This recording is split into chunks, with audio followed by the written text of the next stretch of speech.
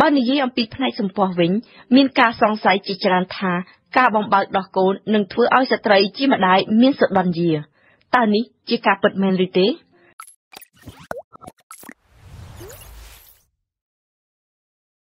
ទឹកដោះម្ដាយមានគុណប្រយោជន៍ណាស់តែការបំបើជាជំរឿរបស់បុគ្គល ស្ត្រីខ្លះមានការសង្ស័យស្ត្រីខ្លះទៀតមិនចង់តែម្ដង គួរតែមានម្ដាយរីករាយចិញ្ចឹមកូនដោយទឹកដោះគោ ជិះជាងមានម្ដាយបំបើដោះទាំងបង្ខំចិត្តនិងមានស្ត្រេសពេញខ្លួន រយៈពេលបំបើកូនគឺជាសេចក្តីសម្រេចរបស់ម្ដាយជាទូទៅ អង្គការសុខភាពពិភពលោកណែនាំឲ្យបំបើដោះកូនសុទ្ធតែម្ដងរយៈពេល6ខែ បន្ទាប់មកត្រូវផ្ដល់ចំណីអាហារប្លែកៗគ្រប់មុខបន្តិចម្ដងបន្តិចម្ដង ដោយបន្តបំបើដោះទៀតក៏បានបើជាកូនកើតមកមិនគ្រប់ខែក្រុមគ្រូពេទ្យពិតជាមានអនុសាសន៍ពិសេស ចង់ឲ្យអ្នកជាម្ដាយបំបើដោះកូន ច្រើនជាងជំរើសទឹកដោះគោដមតើទឹកដោះម្ដាយមានលក្ខណៈពិសេសយ៉ាងណាទៅ ទឹកដោះម្ដាយមានគុណប្រយោជន៍ច្រើនណាស់ទី1គឺទឹកដោះម្ដាយឆ្លើយតបបានទាំងស្រុងទៅនឹងសេចក្តីត្រូវការផ្នែកអាហាររូបធម្មរបស់ទារកយ៉ាងប្រពៃបំផុត ពីព្រោះអាយទឹកដោះបដូរប្រែរហូតជារៀងរាល់សប្តាហ៍ដើម្បីសម្របខ្លួនទៅនឹងការលូតលាស់របស់ទារកទឹកដោះម្ដាយមានផ្ទុកសារធាតុហ្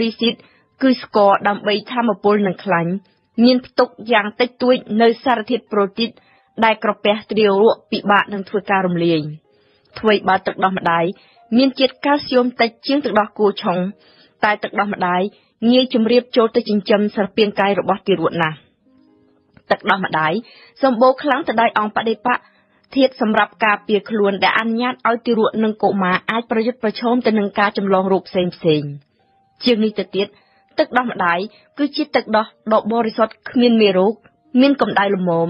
ងាយរំលាយនិងមិនបង្កឲ្យមានអាការៈអាឡែហ្ស៊ីទេស្ករទឹកដោះជាសារធាតុម្យ៉ាងដែលជាញឹកញាប់ក្មេងនិងទារកភាគច្រើនច្រើនតែពិបាកទទួលអាចជួយសម្រួលការលូតលាស់នៃពពួកបាក់តេរីនៅក្នុងពោះវៀនដូច្នេះមានន័យថាបានជួយសម្រួលដល់ការរំលាយអាហារ ការបៅទឹកដោះម្ដាយគឺដូចជាបានបង្រៀនកូនឲ្យស្គាល់រសជាតិអាហារបន្លែត្រីសាច់ផ្សេងផ្សេងដែលស្ត្រីជាម្ដាយបានទទួលទានដោយសារតែគុណប្រយោជន៍នេះហើយទើបការបំបៅដោះកូនអាចជួយសង្គ្រោះទារកនិងកុមារបាន8សែននាក់នៅឆ្នាំ2015ដោយគ្រាន់តែបំបៅដោះកូនឲ្យបានយ៉ាងហោចណាស់6ខែនិងលាយទឹកដោះគោរហូតដល់2ឆ្នាំនេះបើតាមមតិនន័យវិភាគ ចុះផ្សាយនៅក្នុងទំព័រទស្សនាវដ្តីសុខភាព de la C នៅថ្ងៃទី29មករាឆ្នាំ2016ការបើកដោះម្ដាយអាចកាត់បន្ថយគ្រោះជួបនឹងជំងឺរាករូសបានពាក់កណ្ដាល ជំងឺផ្លូវដង្ហើមបាន1ភាគ3នៅឯប្រទេសជឿនលឿនធ្វើបើអត្រាស្លាប់របស់ទារកមានទាបមែនក៏ប៉ុន្តែការបំបើកដោះនៅតែមានប្រយោជន៍ខ្លាំងពីព្រោះវាអាចជួយកាត់បន្ថយហានិភ័យមរណៈអត់មូលហេតុរបស់ទារកបានដល់ទៅ36ពេកាត់បន្ថយជំងឺរលាកពោះវៀនតូចពោះវៀនធំបាន58%ជាងនេះទៅទៀតការបំបើកដោះកូនអាចជួយម្ដាយឲ្យបញ្ជៀសអំពីជំងឺមហារីកអ្នកជាម្ដាយ ក៏បានទទួលផលវិជ្ជមានអំពីការបំបៅដោះនេះដែរដោយមិនត្រឹមតែអាចបញ្ជាគ្រោះកើតជំងឺមហារីកដោះបាន20000ករណីក្នុងមួយឆ្នាំមួយឆ្នាំប៉ុណ្ណោះទេ តែថែមទាំងអាចការពារជំងឺមហារីកអូវែបានទៀតផងនេះបើតាមការសិក្សាដដែលមិនតែប៉ុណ្ណោះការបំបៅដោះកូនគឺជាការសន្សំថវិកា តែបើនិយាយអំពីផ្នែកសម្ផស្សវិញ មានការសង្ស័យជាច្រើនថាការបំបើកដោះកូននឹងធ្វើឲ្យស្ត្រីជាម្ដាយមានសដន្យាតើនេះជាការពិតមែនឬទេមិនមែនទេ យើងស្ដាប់ការពន្យល់របស់លោកវិជ្ជបណ្ឌិត Francis Vettere គ្រូពេទ្យឯកទេសផ្នែកសម្ភពនិងរោគស្ត្រីនៅប្រទេសបារាំង។ C'était une longue polémique de, et qui, qui est traité qui a នេះជារឿងមួយដែលមានបង្កប់ក្នុងបេះដូងស្ត្រីនៅពេលចាប់ផ្ដើមបំបៅកូនដំបូងតាមការពិតគឺការឡើងទម្ងន់ហួសកម្រិតទេដែលបានទាញស្បែកស្រោបសូដននោះឲ្យយាហើយជាទូទៅនៅពេលពពោះនោះហើយដែលស្ត្រីឡើងគីឡូច្រើនទើបក្រោយពីសម្រាលកូនហើយសូដនយាធ្លាក់តែការឡើងដោះខ្លាំងពេកមិនត្រូវបានគេបន្ទោសថាជាដើមហេតុនាំឲ្យសូដនស្ត្រីឆាប់ធ្លាក់នោះទេដោះឡើងខ្លាំងជាទូទៅនៅនៅពីក្រោយការសម្រាលកូន ការឡើងបែបនេះគឺបណ្ដាលមកពីកង្វះទំនាក់ទំនងម្ដាយនិងកូន នៅតាមមន្ទីរសម្ភពខ្លះប្រទេសខ្លះគេណែនាំអ្នកជាម្ដាយមិនឲ្យបំបើកូនភ្លាមទេ តែនេះជាការគិតខុសគេត្រូវតែលើកទឹកចិត្តម្ដាយឲ្យបំបើកូនភ្លាមនិងដោយសេរីទើបល្អ puisse aller librement au sein de la maman dès le, les premiers instants de la vie du bébé តើជាការពិតមែនដែរឬទេ ដែលថាចំណីអាហារខ្លះឬក៏ភេសជ្ជៈខ្លះនោះអាចជួយឲ្យសម្បូរទឹកដោះ